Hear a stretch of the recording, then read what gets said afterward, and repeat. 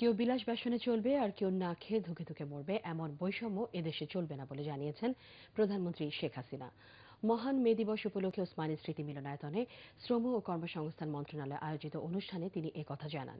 শ্রমিকদের সাথে ভালো ব্যবহার করা, শ্রমের সঠিক মূল্য দেয়া এবং বাইরের কারও প্ররোচনায় অযৌক্তিক দাবি করে কলকারখানা ধ্বংস না করার জন্য মালিক ও শ্রমিকদের প্রতি আহ্বান জানান প্রধানমন্ত্রী। তিনি বলেন, রানা প্লাজা এবং তাজরিন ফ্যাশনের দুর্ঘটনায় নিহতদের পরিবারের সদস্য ও আহতদের যৌক্তিকভাবে আর্থিক সহায়তা করা হয়েছে। শিল্প কারখানায় দুর্ঘটনা হ্রাস করা এবং তার দ্রুত মোকাবেলায় বাংলাদেশ অনেক সক্ষমতা অর্জন করেছে বলে দাবি করেন প্রধানমন্ত্রী শেখ হাসিনা।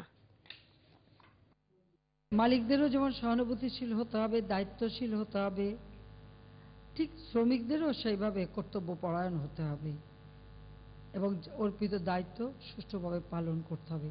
তাহলেই কিন্তু একটা সুন্দর পরিবেশ হবে, উৎপাদন বাড়বে আর আমরাও আমাদের দেশটাকে এগিয়ে নিয়ে যেতে পারব। অনেক সময় নানা গুজব ছড়িয়ে অনেক শিল্প কলকারখানার ক্ষতি করা হয়েছে, আমি দেখেছি।